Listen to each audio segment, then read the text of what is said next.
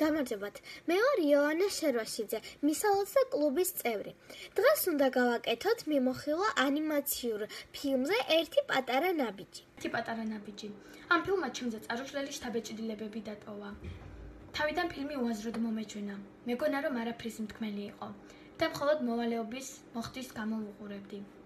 რადგან მოვალეობა მომეხადა.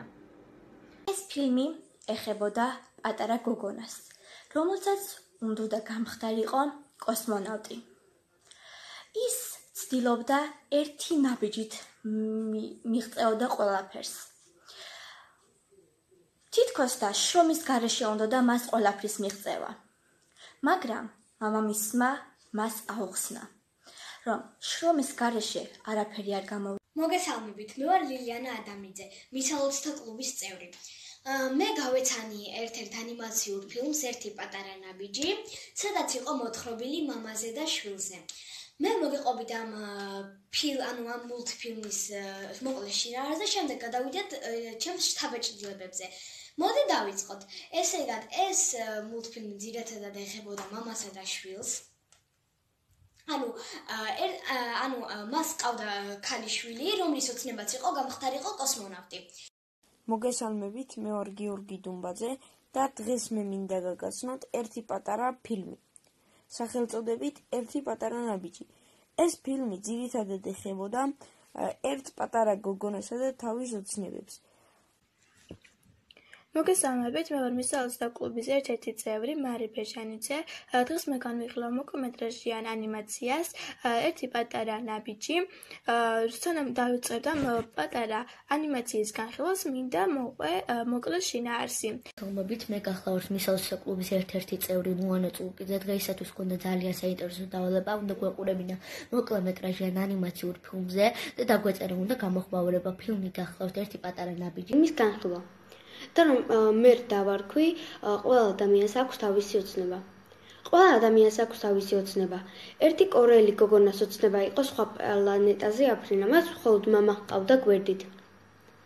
რომელიც სულ ფეხსაცმელებს კეტის ლოგოთი. ეს мотивация იყო მისთვის. ის დაუღალავად სწავლობდა და შრომობდა და როგორც იქნა გახდა ის, ვინც სურდა. როდესაც პირველად დავიდა მთვარეზე, ვარსკვლავებში თავისი ბავშვობა დაინახა და დაინახა მამასთან გატარებული წლები. ის არ ნებდებოდა და მიზანს მაინც მიაღწია. ფილმის მთავარი აზრია ის, რომ არასოდეს არ უნდა დავნებდეთ და წინსვლა უნდა განვაგრძოთ. მე ვფიქრობ, რომ мама აუცილებლად იამაყებდა მისით. მადლობა ყურადღებისთვის. ეხლა უნდა წარმოგიდგინოთ ჩემს მიერ შექმნილი ლექსი, როგორც გითხარით სახელწოდებით წვიმა. როგორც შევეცადე ისე დავხატე, ესეთი ნახატი. ეს თითქოს და წვიმა არის. კალიგრამი წვიმა.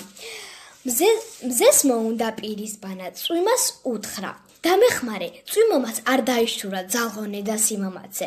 გაწვიმდა და ტყეში ყოლა ბუჩქებისკენ გაიშურა, მაგრამ მზემ რომ დაინახა ბინადართან სევდა ხელა უბრძანა და გააჩერა მოაშურა ისევ სხივი.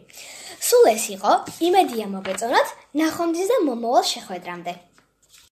იმე წაგიკითხავს ჩემს მიერ შედგენილ იუმორისტულ ჰაიკუს. ყვავილო ამოსულო ტბის პირას, ყელმოღერებულო კეკლუსო, გინდა ივნიში მოგწყვიტო? ბიცუმა მზეს მოუნდა პირის ბანა. წვიმას უთხრა დამეხმარე. წვიმამაც არ დაიშურა ძალღონე და სიმამაცე. გაწმდა და ტყეში ყოლა ბუჩქებისკენ გაიშურა, მაგრამ მზემ რომ დაინახა, ბინადართა სევდა ღელვა, უბრძანა და გააჩერა, მოაშურა ისევ სხივი.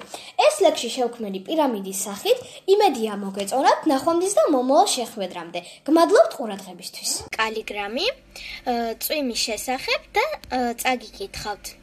გარეთ წვიმდა, ძლიერ წვიმდა, მაგრამ მე სულ არ წვიმდა. ფანჯარაში ვიხედები, ნეტ ამინდი როდის გამოვა. თუმცა რო წვიმს არ მაღელებს. რადგან სახში ძლიერ თბილა. ვზევარ კომპიუტერთან და ვფიქრობ, ნეტა კალიგრამი გამომივიდა.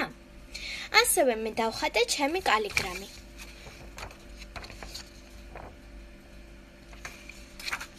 მადლობა.